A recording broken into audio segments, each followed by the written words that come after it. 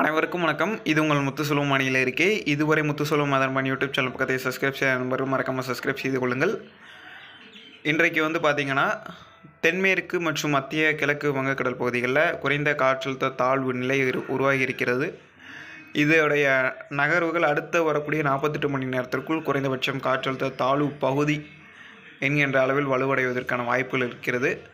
இது வரக்கூடிய பதினெட்டு பத்தொம்போது தேதிகளில் காற்றழுத்த தாழ்வு பகுதியிலிருந்து தாழ்வு மண்டலமாக வலுப்பெற்று புயலாக மாறி இது எங்கு கரையை கடக்கும் என்பதை இப்போதைக்கு சொல்ல முடியாது. ஆனால் பங்களாதேஷாக இருக்கலாம் மியான்மராக இருக்கட்டும் தாய்லாந்து இந்த மூன்று நாடுகளுக்கு அதிகமான வாய்ப்பு இருக்கிறது பங்களாதேஷ் மியான்மர் தாய்லாந்து இந்த நாடுகளுக்கு அதிகமான வாய்ப்பு இருக்குது அந்தமான் நிக்கோபார் தீவு கடுமையான ஒரு பாதிப்புகளை எதிர்கொள்ளும். அந்தமான் நிக்கோபார் தீவில் கரையை கிடக்கும்.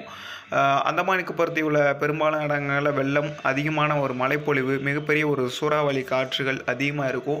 அதனால் அந்தமான் நிக்கோபார் தீவில் இருக்கக்கூடிய தமிழர்கள் அல்லது நீங்கள் தமிழ்நாட்டிலேருந்து கேட்குறீங்க உங்கள் நண்பர்கள் யாராவது அந்தமானில் இருந்தாங்கன்னா கொஞ்சம் முன்னெச்சரிக்கை தகவல்களாக அவங்கள்ட்ட சொல்லுங்கள் இந்த மாதிரி ஒரு பெரும் புயல் ஒன்று உங்களை நோக்கி வர இருக்குது அப்படின்னு சொல்லுங்கள் இதனால் தமிழ்நாட்டுக்கு எந்த ஒரு பாதிப்பும் இல்லை. இப்போ நம்ம எதிர்பார்க்கப்படுவது என்னன்னு பார்த்தீங்கன்னா இந்த புயல் உருவாகி இந்த புயல்னால் காற்றில் திசை மாறி அதாவது காற்றின் திசை வேகம் மாறுபாடுன்னு சொல்லுவோம்.